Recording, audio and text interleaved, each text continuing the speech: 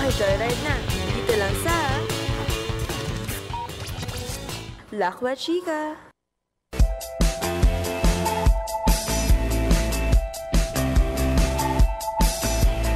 Good morning, good morning, good morning mga classmates. Ayun, isa na namang oras ng Lakwachang Chikahan ang hatid namin dito sa inyo sa Lakwa Chika. Ako po si classmate Cholo. At ako naman po si classmate Jel. Ayun, classmate Jel, welcome back. Ay, welcome back. Last week ka pa pala bumalik. Ikaw, welcome back Oo, sa'yo. Thank you, thank you. At uh, syempre na-miss kita nung ilang buwan din tayo halos di magkasama. Oo Pero nga. ngayon, sabay na tayong hahatid ng maraming news tungkol sa Lakwacha at Chikahan. Pero speaking of news, no, gusto ko lang sabihin, no, anong, gusto ko lang malaman yung opinion mo, ha? Ang Oh. opinion mo sa, ano, sa privilege speech ni uh, Ay, nako. Bong Revilla. Short lang, short lang. Um, ayun, very patama siya eh. Kasi Mm. parang pinapaano niya na hindi lang sila yung dapat makulong, kumbaga. Pero, nako, sana magkaroon tayo no, ng ah, tiwala sa ating justice system na kung sino man ang may sala ay, you know, parang Mm-mm. mapipiit din. Oo nga. At ako lang naman, gusto ko lang masabi tungkol doon ay ah, maraming thank you. Yes. maraming pagpupuri at ah, maganda ang ano niya, music video niya sa, ano ba? sa, sa salamat kaibigan. Yun lang naman, oh, doon lang tayo magstay doon sa issue na yun, no? Mm. At ah, yun, napansin mo ba yung weather ngayon, no? Hindi na ganun kaaraw compared Yes. sa dati. Ngayon ay Oo. medyo maulan-ulan na tayo. At ang sabi ng pag-asa ha, ngayon daw hindi pa siya bagyo. Mm. Pero within 24 hours, pwede daw siya maging bagyo. Yan, kaya mga chicks, dapat abang-abang din po tayo magdala ng mga kapote, ng umbrellas nyo Yes. kapag lalabas ng bahay. At syempre, kamusta naman kaya ang ating mga tagakapakinig? Oo Sila nga. Kuya Ate Guard, mga maninda, mga classmate, at Yes. syempre yung mga pupuntang trabaho. At syempre kung kayo ay nakikinig po sa radyo, wag na wag niyo pong kalimutan na pwede rin kayong makinig sa ating ah, online streaming. Yes. Ito po ay sa www.dzup.org. Ayun. At saan, Mm. saan ba nila tayo pwedeng i-follow? Yan, syempre pwede, pwede nila tayong i-follow sa Twitter at Lakochika DZUP. Ayun. At syempre pwede nyo rin naman i-follow ang Twitter ng DZUP at DZUP1602. Ayun, Mm-mm. syempre hindi po kami puro balita lang at ah, yes. puro ah, kamusta-kamusta dito. Mm-mm. Ayun, syempre meron tayong makakasama sa ating Lakwacha for this week. Yes, Sige na. napaka-exciting ng episode natin today dahil ang i-feature nating place today ay isang island province of the Philippines na consisting of the land itself and more than 160 surrounding islands. Nako, sobrang kilala nito ah, na lugar no sa kanyang tourism at sa pagiging isa sa parang pumapangalawa daw sa Manila bilang Wow. isang um, metropolitan. Actually, no, Jel, ngayon ko lang narinig na ganito siya tinawag. Okay? Mm-mm. Kasi pagkakalam ko kasi Metro ang una niyang ano. 'Di ba kasi oh, surprise na natin 'yon. Pero yun nga, ngayon ko lang siya narinig at syempre explain ng ating nga kasama ngayong linggo kung ah, bakit nga ba tinatawag na ganito ang lugar na ito. So ano bang ligon ang lugar natin for this week? Siyempre yan ang Cebu. Nako, ang dami na nating narinig na magagandang bagay tungkol sa Cebu. Pero syempre Mhm. meron tayo ngayong guest para ipapapabongga pa. Oo, Yun, yun. mapabongga Tama pa yun, ang ipapagbobong, Cebu. ipagbobongga. Ayun, yun, Yes. yun na yun. Yeah, Oo. At ito ay none other than din si Sir Mel yan. Hello, Sir Ayun. Mel. Hello and uh, thank you for having me here. Salamat pala kay Ian Panganiban sa pag-invite sa akin ngayon. Ang ating executive producer na si Ian. Thank you sir for gracing the ano ha, the station. Sobrang ah, welcome welcome talaga. Yes, I'm happy. My flight back to Cebu is ngayong 4 p.m. but Wow. I'm here in DZUP para I can share to everybody kung anong meron sa Cebu. What Yes. an honor. Sir, isisimulan ko lang po yung tanong natin, no? Kasi ang ano po natin ay Mega Cebu. Ang pagkakaalam ko kasi, na-mention ko kanina na Metro Cebu po siya. So what is the difference of Metro Cebu and Mega Cebu? Well, yung Mega Cebu kasi is our vision for 2050. Alright. Uh, we want a Cebu na magan hindi lang magandang puntahan, kundi sustainable din siya. Mhm. Um, kaya namin tinawag siya na Mega Cebu. Pero yung Mega Cebu kasi uh, in terms of uh, geopolitical limits is composed of Metro Cebu local government units. Alright. So, So, yan Meg- yung vision natin, Mega Mhm. Cebu 2050.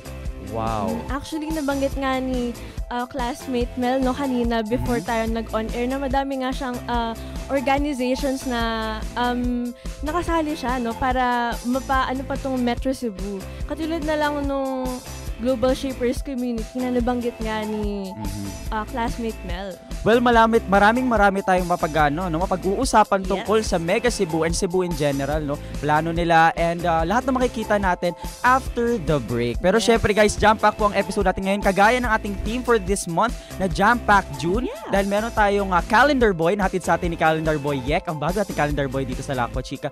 Syempre kung gusto nyo po kaming uh, kontakin, saan nyo kami pwedeng kontakin, Jel? Siyempre sa 0927-220-8332 at abangan nyo po, stay tuned sa Tourist Attack. Ayun. Later. At syempre, pwede rin po kayo mag-promote with us and leave us, eh, med- medyo na pumiyok ako. promote with us and leave us a message on Facebook. That's Lakwa Chika sa DZUP 1602. And of course, visit our website, dzup.org. Magbabalik po tayo with classmate Mel dito lang sa Lakwa Chika. Makijoyride na. Dito lang sa... Lakwa Chika.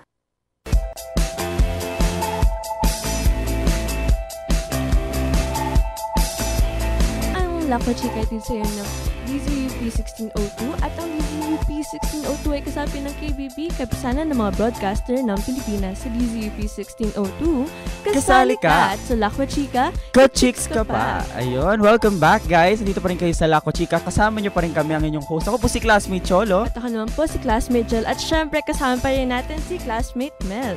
Hi classmate Mel. Hello. Ayun, so simulan natin ang uh, usapan natin no, tungkol sa Cebu at sa Mega Cebu Plan. O, Yes. Simulan muna natin sa Cebu.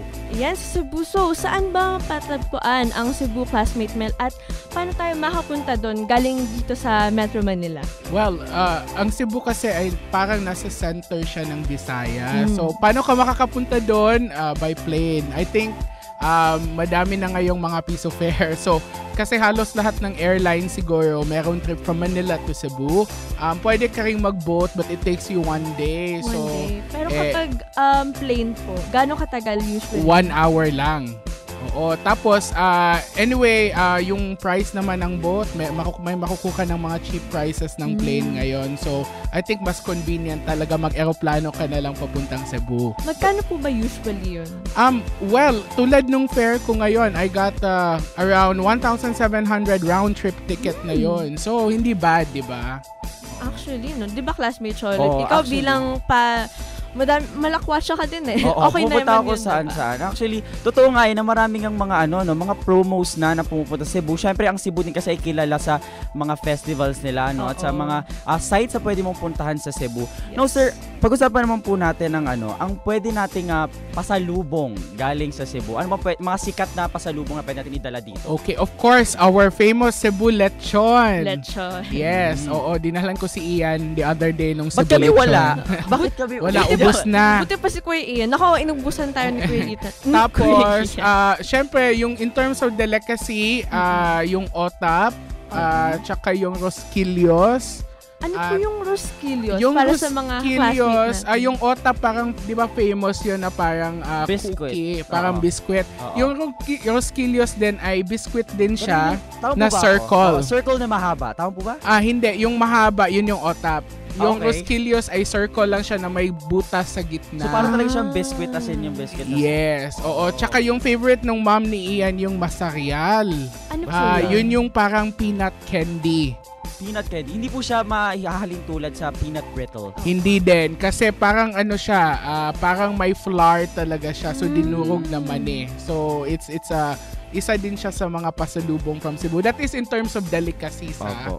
Oo. Interesting. Ay, Pag-usapan lang po natin yung ano. Medyo may tanong ka rin, no? Hindi, Sige, tatanungin ko muna. Okay, Um, go. ano po bang mga pwedeng pasyalan dito sa Cebu? Okay, it depends kung ano yung hanap nyo. Ah, I think yung Cebu is really famous for mga beaches, di ba? Alright. Ah, yun nga yung sabi ko kay classmate Chel kanina na 30 minutes away lang yung beach sa Cebu and white Wow. sand beaches ito. Ang sarap ng classmate Charlotte, diba? 30 minutes lang sana Oo, dito yung 30 beach. lang. Yes, oo. So, dun mostly makikita sa Mactan. Mactan. Ah, oo, dun kung asan malapit yung airport namin, Alright. dun yun yung, yung ah, dun rin yung mga beach area. Mhm. Ah, tapos ah, meron kasing mga island cruises ngayon doon. Mm. So, um and and you take in ba, uh, rent ka lang ng boat, ihatid Mhm. ka niya sa mga various islets. Tapos pwede kayong bumaba in the middle of the sea at doon kayo maligo sa mga Ah. sanctuary. Wow, it's really for adventures, no? Oh, Yes. speaking of uh, for adventures. Sir, ano po ba ang ano? Ano ba ang niche market talaga ng Cebu when it comes to like um, tourists na pumupunta po sa Opo. inyong ah, lugar?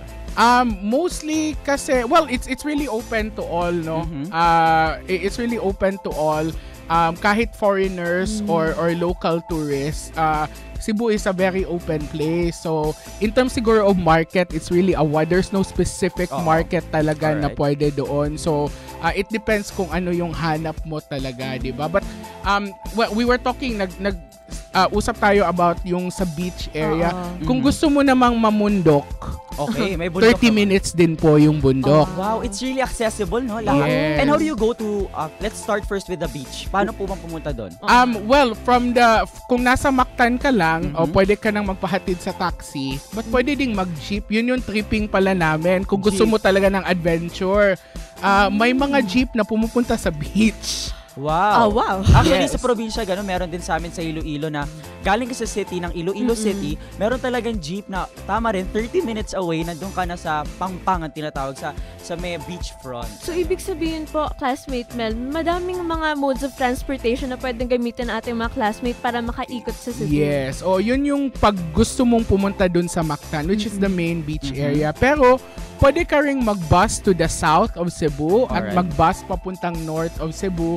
Eh, kung pumunta ka dun sa mga lugar na yon, yung beach katabi lang ng highway.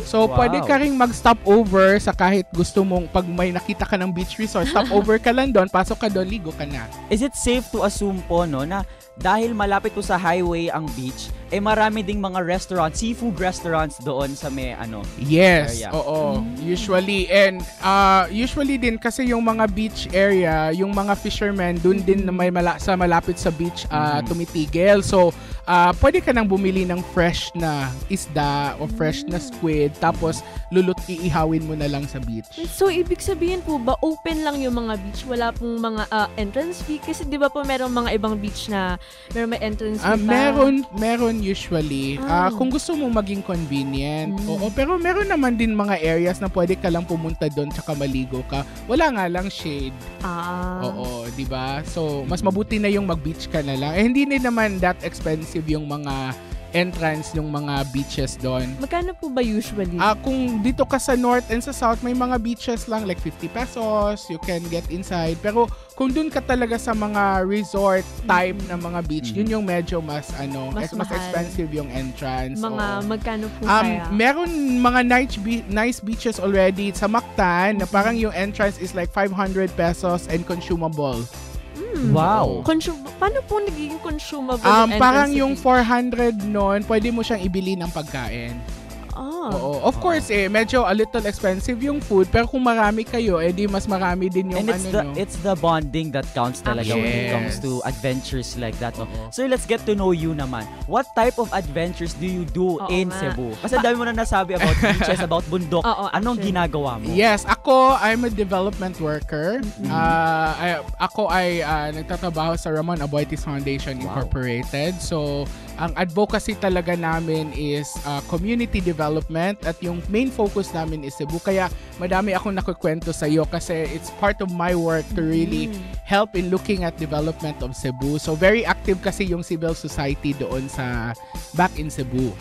Okay sir, tinatawag po kasi na ano, na jam-pack June ang ating theme for this Yes. week. So ano ba ang mako-consider nyo na jam-pack sa Cebu?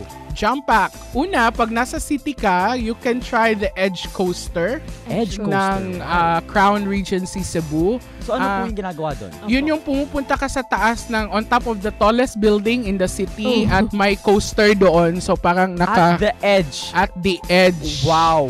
Yes, so yun Hmm. yung one adventure place namin. Pag nasa city ka. Okay, si- Oo, pag doon ka naman sa ah, mga beaches and sa islands, doon Mhm. yung yung island hopping at tatalon ka in the middle of the sea at doon ka mismo maliligo. okay. Ta- That is very extreme, guys. realistically, as in island hopping. It's very very jam-packed siya. Oo. True. Huwag ka nang bumaba sa isla. Ano naman makikita mo doon, di ba? Oo nga. Kahoy-kahoy lang tsaka lupa. Doon ka na sa dagat bumaba. Oo nga. yan, yan. Coming from a Very native of Yes. Pero Cebu. Tapos magdala ka ng goggles. ah, Mhm. Tignan mo yung mga fishes around. Kasi meron ding Ah. mga sanctuaries around. So usually, kung ayaw mo nang pumasok sa sanctuary kasi may bayad yung sanctuary eh, Mhm. doon ka na lang sa labas, eh yung isda lumalabas din naman ng sanctuary yun. Di ba? Tama nga Oo, naman. So, hindi naman niya sabing hindi na ito sanctuary, hindi na ako lalabas Oo dyan. nga O, di makikita lalabas at lalabas lahat. pa rin yan. actually, so ibig sabihin po ba, um, classmate Mel, merong mga scuba diving sites sa Yes, Cebu? maraming scuba diving site. In Mactan, madaming nagsuscuba dive dyan. Tsaka din sa South, ah, yung South. famous is Moalboal in Cebu where they also have white beaches Mhm. in the area. So madami ding nagsuscuba diving doon. Ang dami niyo pong na-mention na ano no, na white sand beaches. Mm-mm. Let's uh kasi hindi natin matatanggal to na in the Philippines when it comes to white sand beaches, nako-compare talaga to Boracay. Yes. Yes. Now, can we compare uh the white sand beaches of Cebu to Boracay? Merong Yes. mga white sand which I think could compete with Boracay. Mhm. Ah, I think yung famous doon is the Bantayan Island. That's Bantayan. an island at the tip of Cebu. Although ngayon they're trying to recover kasi na na Yolanda sila. Oh. Um, but the, the- yung mga sands ng Santa Fe in particular, that is one of the towns in Bantayan Island, is really comparable to Boracay. Um, and the sea, ang yung dagat din nila. Sa south naman, you can have, uh, you, you- may mga white sands din doon. Um, Mhm. One white sand beach that I really like doon na parang Boracay is Lambog in Badian. So, and of course in Moalboal as well. So, ayun. So when it comes to budget naman po, syempre we are uh, students. Kung kabe mga students kami na we are uh, traveling at a budget lang. Yes. So how much would it cost us to actually uh, travel or go around Cebu na nasulit na namin Oh, siya? na parang jam-pack na kumbaga yung bakasyon namin sa pagstay namin sa Cebu. Okay, kung well, kunyari meron kayong uh, how many days do you plan to go there? Mm, kunwari po mga 2 to 3 days, ganyan. Mga 2 to 3 days lang. I think your 5,000 pesos would be too much. 5,000 pesos each po. Yes, would be Each. too much already Mm. for Cebu. Um pag 2 to 3 days kasi depende kasi kung saan kayo pupunta. Mm. Pero we've tried ano, we've tried uh, going to different places in Cebu or or tripping lang na Mhm. less than 1,000 pesos lang yung ginagastos namin. Oo. Kasi you can maximize it. Tapos, dito, doon na kayo sa may city kakain. Eh, pag nasa province area naman Opo. kayo, ah, hindi naman din masyadong mahal yung food. So, So kung um speaking of ano naman po, availability ng mga resources, kunwari po ay yung nga yung kainan, yung yung mga ready na kainan ganyan or yung mga lodging places para sa mga gusto magbakasyon sa Cebu. Um available po ba siya na yung nandyan lang ba katulad ng sa Manila yes, or ano? very available. In fact, mas cheaper po yung mga Really? places in Cebu. Oh, so, may mga pension houses doon or even mga smaller hotels. ah meron silang mga package as low as like 950 per night. At meron ding mga areas where you can share a bed and then uh, and, and mura lang din siya and they're clean. So, pwedeng pwede. Meron ba doon parang bed and breakfast? Yes, oo, may mga ganon sila doon in Cebu. So, it's it's it's cheap. It's cheaper compared to Manila. Pero kung um, ikaw po, ah, classmate Mel, bilang native ka ng Cebu, no, ano na ba yung mga as in na-try mo na surefire way na fun yung isang araw sa Cebu? Ah, okay. First is that pupunta muna ako ng island hopping. Island so, hopping. pupunta ako either ng Mactan or ng Cordova at doon ako maghahanap ng boat. Eh, yung boat naman, ano, 500, nakatry kami ng mga friends ko, 500 pesos lang yung binayad namin Mm. for sa whole day na boat at Cool. free lunch na yon. Wait, 500 pesos na isang boat, ilan po kayo? Ah, 15 yata. 15 na o tao, 15 to 20 pesos. Tapos, Free free lunch na yon. Oo. Sila na yung maghahanda ng lunch. Oo. Wow. Eh, 15 lang kami. Eh, kung naging 20 kami, may libreng videoke na yon. Ganun po ba yun? Yes. Wait, video ko sa bangka? Sa bangka. Oo. No, eh, anong, wala akong masabi. Oo. Eh, sa, sa, habang naliligo yung iba, eh, mag-videoke ka muna.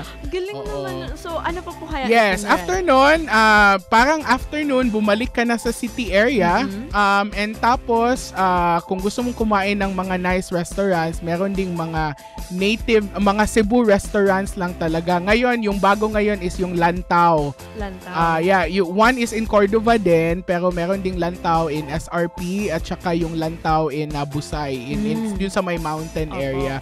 Or kain ka sa mga different restaurants there or in Ayala. Tapos, after nun, kasi yung Cebuanos, mahilig kami mag-videoke. So, madaming videoke place in Cebu. At um, yung sa videoke place namin, usually pag Monday to, parang Sunday to Thursday, 99 pesos per hour lang yung videoke. 99 pesos per hour. Yes. Naku, magdami tayo ang mga classmate na gusto na atang pumunta ng Cebu para lang sa video. kay Yes, pag, pag weekends naman, 149. So, not bad. And that's already parang 5 to 8 persons na yung makakapasok doon sa videoke place na yon So, um, okay. Okay din yung uh, mag-videoke in Cebu. Mm-mm. So, paano naman po kung ano, nightlife kunwari? Nightlife is videoke. Meron din tayong mga disco place. Ah, yung mga parang mga teeners, doon Oo. sila sa Mango area pumupunta.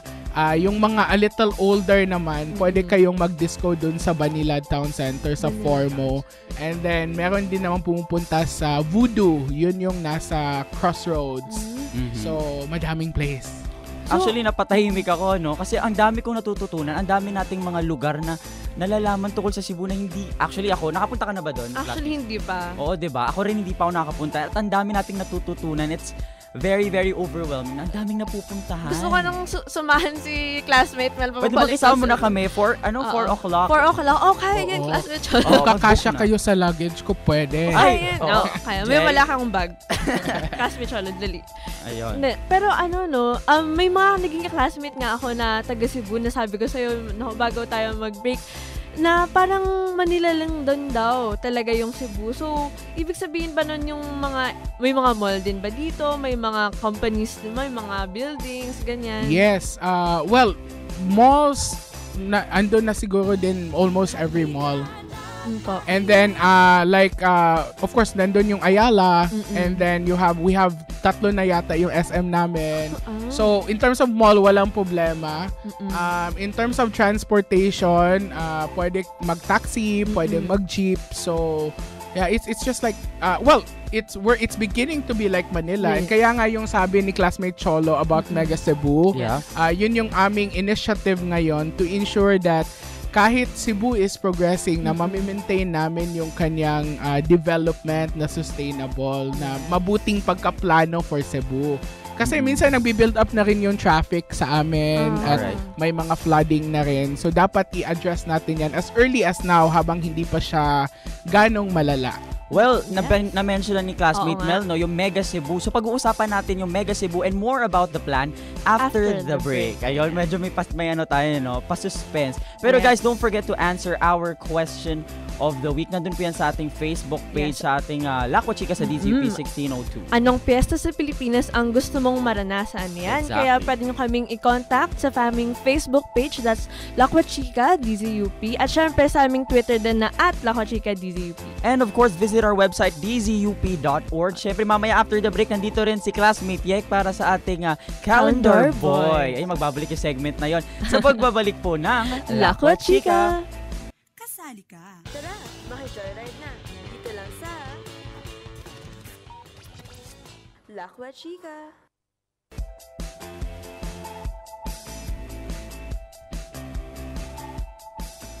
DZUP 1602 ay kasapi ng KVP, kapisanan ng mga broadcaster ng Pilipinas. Sa DZUP 1602, kasali ka. Sa Lakwa Chika, ka-chicks ka pa. Hello mga ka-chicks! We're back! Ako po si classmate Jel. At ako po si Classmate Chola. At syempre kasama pa rin natin ating guest for the week, si Classmate Mel. Syempre Hello. dito lang sa Lakwa. Ayun. Ayan. Nabanggitan natin kanina na pag-uusapan natin ngayon sa segment na to ang ah, Mega Cebu Yes. na plan. So, tell us more about that. The, the basics lang po. Mm-mm. Ah, okay. Etong Mega Cebu is an initiative ito ng local government units ng Metro Cebu. Ah, 13 cities and towns po sila.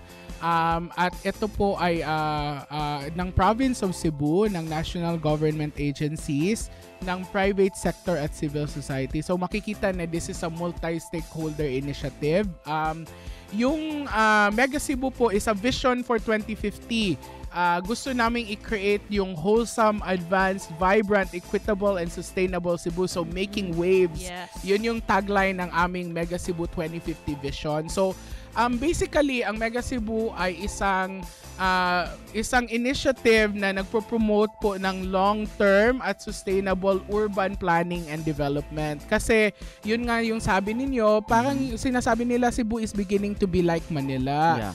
um, in terms of development, it is. And of course, pag may development, meron ding mga issues and concerns na Mm-mm. lumalabas Yes. tulad ng traffic, Yes. tulad ng flooding. Um, and sa Cebu kasi, we believe na kung gusto mong i-address ang mga concern na yan, hindi ka dapat mag-address ng issue ng isang LGU lang yung kinoconsider mo. Dapat lahat kasi pag Mhm. nagbaha sa Cebu City, ah, pag sinolve ng Cebu City ang drainage problem niya, eh paano pag hindi nag-cooperate yung kabilang town, say yung Mandaue, hindi naman sasabihin ng tubig na galing ako ng Mandaue, hindi na ako papasok dyan sa Yes. Cebu, kay huhulihin ako. Oo nga. So, ayan, so everything is interconnected. So, and including traffic, 'di ba? Ma- m- nice nga yung traffic system nyo dito, pero pagdating dun sa kabila, hindi naman nice. So, ayan, masa-stack up pa rin yung traffic sa inyo. So, coordinated and integrated planning ang pinopropose natin for Mega Cebu. And of course, hopefully, pag meron na tayong tinatawag na master plan, Master plan. for Mega Cebu, yun na yung i-implement. So ngayon, nasa process na po tayo of study on urban development for Alright. Metro Cebu. At ito in partnership po ito ng Japan International Cooperation Agency or JICA. And of course, 2050 is still far pa naman. So we Yes. still have a lot of time to uh, plan all of this for uh, Mega Cebu. But then sir, out of all the plans, out of lahat ng mga gustong mangyari, ang question pa rin natin is how would this benefit the people? Mm-mm. Yes. Ah, I think gusto mong tumira sa isang lugar kung ang lugar na yon ay una competitive meaning ah, lugar na yon ay makakakita ka ng trabaho Mhm. Ah, and and and you can study there in good school, right? And matitrain ka doon. Second, gusto mo ang lugar ay livable, meaning ah, makaka-breathe ka pa ng sariwang hangin at ah, hindi ka na stress pag lumalakad ka or pumupunta ka ng work, 'di ba? And of course, ah, mobility. Gusto mo din na madali lang pumunta from one place to the other. I'm happy right now na yung isang oras ko, madami na ako napupuntahan in Cebu. Mm. Ah, here in Manila, may one hour, parang nasa daan pa lang ako niyan. Oh, dahil sa traffic Yes, po, dahil ano. sa traffic. So, we want to keep it that way. And more importantly is, gusto ko rin ng lugar na yung namamahala sa atin ay properly na namamahala. Mm. So, uh, we underscore it with management or metropolitan management. So, competitiveness, livability, mobility, underscored by Metropolitan Management. Yan po siguro yung biggest benefit na nakikita namin ah, na magagawa ng Mega Cebu sa mga tao. Mm. So, meron na po ba tayong um, parang mga ah, balangkas, ah, kumbaga po, nung sustainable development na mangyayari? So, Y- nasa ang stage na po ba yung Mega Cebu Okay, 2050? ah well, na-launch yung Metro Cebu Development and Coordinating Board. Yan yung ah, parang body na nag ah, gumagawa ng integrated policy. Yun Yes. din yung platform kung saan nag-uusap-usap yung mga mayors, yung mga Mhm. national government agency, ah, yung business sector at civil society. Um, organizing yung ginawa natin noong 2011 at 2012. 2013, 2014 hanggang early 2015 ngayon yung study natin on Metro Cebu Urban Development. So a Alright. lot of the planning ay nangyayari ngayon, right? At Mhm. saka hopefully yung planning naman po to the LGU level at yung implementation mangyayari mga 2015, 2016 onwards. So Wow. ah, nasa phase pa tayo na talagang nagsa-study tayo. Yeah. O kasi yun kasi yung mga limitations natin minsan, 'di ba? Gusto Oo. nating mag-act kaagad pero hindi muna tayo nag-aaral na ito bang gagawin kong development? Maganda ito pero ito ba ay sustainable? May feels dun si classmate dyan, nakita ko yung mukha mo. Lahat Medyo may tama feels ka yan. dun. Kasi syempre, bago natin um, magsagawa ng isang malaking change, dapat Yes. pinag-aaralan ng mabuti. And of Katulad course, this is na the lang. most important part siguro of any plan, no? Yes. It's really the planning, the studying to see if there are loopholes in the system or in the in the plan that you are Mm. actually trying to do, di Oo, ba? kasi syempre hindi naman yung mga planners yung um, madedehado doon, kundi yung mga tao na dapat um, supposedly for the betterment, di ba? Mhm. Ayun, so before muna tayo mag ano, no, mag ah, Delve into sa mga Oo, to a lot of more. issues. Siyempre, meron din naman tayong pampalight ng ating situations Yes. dito. Siyempre, nandito si ating ah, classmate Yek. Ayun, si CB Yek for the Yes. Calendar Boy segment. O sige, ah Yek, ikwento mo na sa amin lahat ng mga events na meron tayo in the This coming week. weeks. Yes. Ayun. So, siyempre, Yek, go! Alright, hi mga classmates, mga ka-cheeks out there. Good morning! Na-miss niyo ba ako? Because na-miss ko kayo. Well, anyway, for the next two weeks, if you're bored, kung wala kayong magawa, or gusto nyo lang lumabas na maglakwatsa, well, I have a list of events that you can go to any time of the day. Number one, Kalayaan, an open mic night for Maricon Montajes. This will be held on June 11, 2014. 6 p.m. mag-start, mag-open ang gates.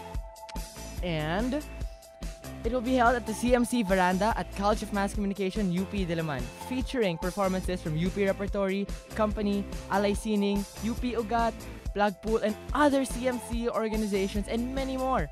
Watch and listen to them as they use art as a tool for freedom of expression and liberation. Speak out and be heard. Fight for our rights. Fight for freedom. Kalayan is part of Task Force Freedom series of activities for Alagad ng Media Maricon Montajes upcoming hearing on June 26. Follow UPCMC Student Council and Task Force Freedom on Facebook for updates. Number 2 mga ka-chicks, June 11 on the same day sa SMOA Concert Grounds, meron tayong One Vibe PH. This is an event by Viber wherein gates will open at 4 p.m. This is a celebration ng Viber for Independence Day kasi hanggang 12 midnight yung thing, yung event. This event aims to integrate Philippine modern culture to modern music to encourage Filipino pride in terms of music and art and art and artistry. Artistry, food and culture bringing all together in one big event. It'll feature Philippine talents including DJ Laid Back Luke, Apple the App, Funky AV, Mars Miranda, and Mother Bass. Tapos supporting DJs nila, Hard Rock Sofa, and Infected Mushroom. O diba, exciting? Punta na! Kasi they promise, they promise, they promise it to be their biggest event yet with a full experience in VIP tickets, activities, freebies, free bus rides to the event, and a piece of beer promo from 12 midnight to 1 a.m. So sa inyo, mga tao na gusto lang mag-chill-chill doon, humabol, pwedeng pwede, piece of beer promo! Tickets can be bought to Ticket World at SM Ticket. 1,000 pesos for patron ticks and 500 pesos for students and Fiverr users. Ayun guys, so ang dami nating events for this week at syempre yun nga para sa mga events natin no na merong uh, uh, pagka uh, merong beer or anything that is alcoholic. Syempre guys, for legal age na po yan. 18 years old po ang ating legal age guys. So please, please, please, ayun, 'di ba? Uh, alamin natin ang ating uh, mga karapatan at ating uh, syempre ang kalayaan natin nga dahil Independence Day is coming, Gel. Independence Day is coming and of course, syempre it's that's very exciting. At uh, kanina nga ay uh, may napapanood na akong mga preparations nila actually for uh, Independence Day here in the Philippines. So that's very exciting. Thank you very much, classmate Yek. Alright, welcome classmate Cholo. See you soon. Ayun, Oh, syempre wow. nandun si classmate Yek no, na nga. nagbigay sa atin.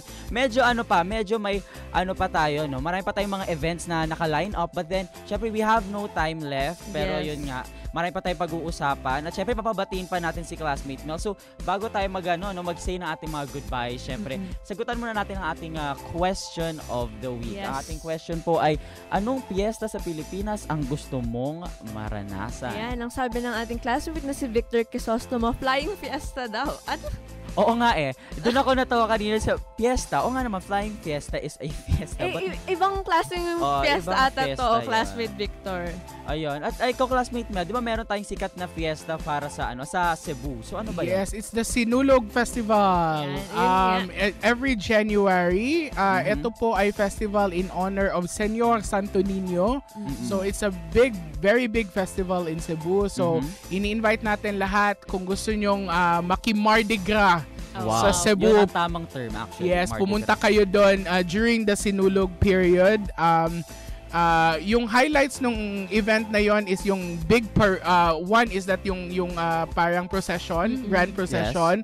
Uh, nangyayari yon Saturday at yung Sunday yung Sinulog Festival. So, pwede kayong pumunta doon at makisayaw sa streets. And sa mga youth naman, may mga party-party around. Ayun. Oo. At yun nga, sasabihin ko sana kanina na ang ah, ang ah, Sinulog Festival is one of the most awaited and if not the most attended Mm. festival in the Philippines not because not only because of the cultural heritage na pinapakita Mm-mm. nila doon but then ang dami ng parang mga yun nga sinasabi na parties ang dami ng ah, maraming events within the the celebration of the of the festival na talagang dinadayo ng mga tao at pinupuntahan nasan man silang sulok ng mundo ay ina pinupuntahan na nilang Cebu which is actually a good help for the economy of uh, Cebu. And the tourism, syempre. Ito nga, may mga iba pa tayo mga classmates sa ating um, Facebook page Mhm. na nagsagot din na yung inaabangan din nilang piyesta ay sinulog. Sinulog actually. Yes. And uh, Panagbenga is uh, still on the list no. Napag-usapan natin to a, a lot of Oo. times dito sa Yes, Laco yes. Chica. Ayun. Yan, meron pang Hot Air Balloon Festival, sabi ni classmate Alisa May Marie Rola. So, ano yan sa Pampanga, tama ba? Mhm. Ayun, Yan. very exciting yung mga ano nila sagot nilang mga festivals. Yes. Ikaw ba classmate Jel, anong mga festivals na napuntahan mo na? Ano ba? Eh, kasi may mga pasok eh. So, Oo. medyo Exactly. hindi pa ako Hindi masyadong... tayo tumutugma sa Oo. oras. Pero ako, nakapunta na ako sa Ati-Atihan. Ah. Ati-Atihan sa Aklan. It's very fun. uh, very, ganun din siya, street dancing type Mm-mm. na, um, syempre, pinapakita ang uh, ating mga tribal people na Oo. mga ati. Ayun, syempre. At uh, um, Pintados Festival naman sa. Pasig, Iloilo na very, very fun din. Ganun din. Actually, sa lahat, tama po ba ako? Uh, correct me if I'm wrong, uh, classmate Mel, ah, na most of the festivals in the Philippines, talagang hindi mawawala ang mga street dancing. Yes, I think that's the highlight because Yes. culturally naman talaga we express our faith, our Mm-mm. feeling through dance and Yes. music. So, Mhm. kaya hindi nawawala yan because that's our way of honoring uh, Yes. whoever are we honoring. In this case, most of our fiestas talaga are really honoring God and the Oo. saints. So, ayun. Actually, at totoo rin dyan, no, na Mm. ang ah, mga festivals natin, hindi mawawala sa street dancing yung may hawak kang ah, icon or may hawak kang mga Oo. statues. Kung, yun nga, kung sino ang talagang ating ah, parang Pinap- pinipraise. oo, pinaparang nga. O, pinaparangalan. Diba? Pinipraise, yeah. Oo, pinaparangalan sa araw na yon. Ikaw, classmate Mel, other than Sinulog, ano pang mga festivals na napuntahan niyo? Uh, I also went to Peña Francia Festival Ay. doon sa Bicol naman. Okay. And they serve really good food. Yes. course. Salamat, salamat. Oo. Bilang Bicolana. Ah, Bicolana ka ba? Oo. Y- yung usual kasi na napupunta akong piyesta, yung piyesta dun sa barrio namin. Oo. So, piyesta ni San Roque, ganyan. Yung usual na may procession, may ah, yung mga bahay open para yung kainan, ganyan. Kahit sino strangers, pw- pwedeng yung makikain, ganyan. Mm. And this is ito na, this is one part of the program na hindi talaga natin maaalis po. Um, how is the government of Cebu? Mm.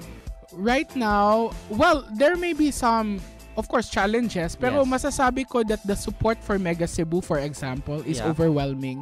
Uh, the fact na yung mga local government units Yes. are sitting together and wants to talk about development Mhm. together, yan yung ating pinopromote. And I'm happy to say then that very strong kasi yung presence and and involvement sa development ng business sector at ng civil society. So, uh, na-encourage din yung government na mag-collaborate. So, and ganoon naman talaga yung gusto nating i-promote sa Mega Cebu. Yung pwede kang mag-integrated development at coordinated development kung coordinated din yung government mo. So, I'm happy naman na nagko-cooperate sila. No, it's, it's Yun- nice, no? Na Mhm. yung lahat ng sector sa Cebu ay mukhang nag-get together na para mas mapaganda pa yung Actually, Cebu. and that is very important din no. In Yes. any in any city or in any nation no, Oo. the cooperation and the Yes. willingness to help not only uh, yourself, your standing but also the people that you are serving. Kasi yun Ayun. naman talaga ang ang ano yun, kung yung, bak yun yung punto dun eh. Oo, kaya ka nakalaan dyan ay para tulungan ang mga tao. And of course, yung cause din ni,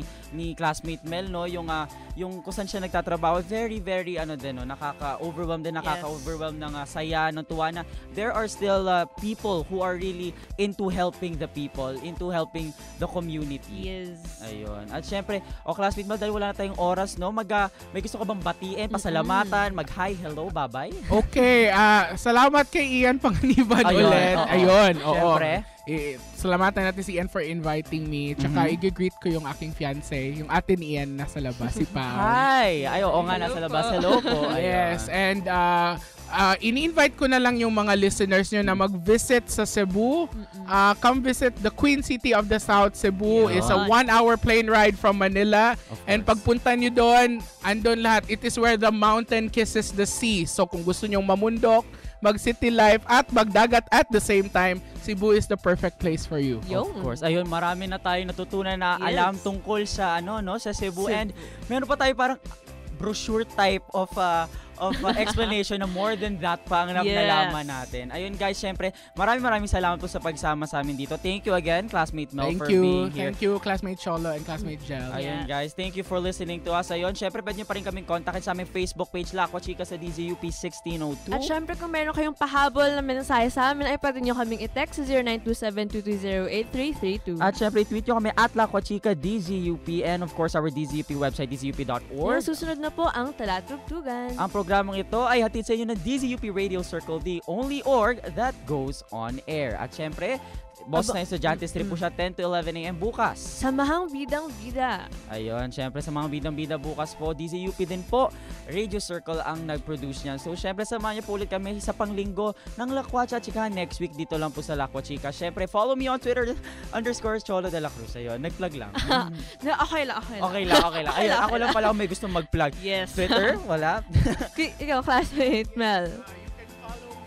Ah, you can follow me at at YM Advisor. At Yeah. YM Advisor. Ayun guys, thank you again for being with us for one hour. Dito lang po sa Lakwa Chika. Ako po si classmate Cholo. Ako po si classmate Jel. At ito po ang Lakwa Chika.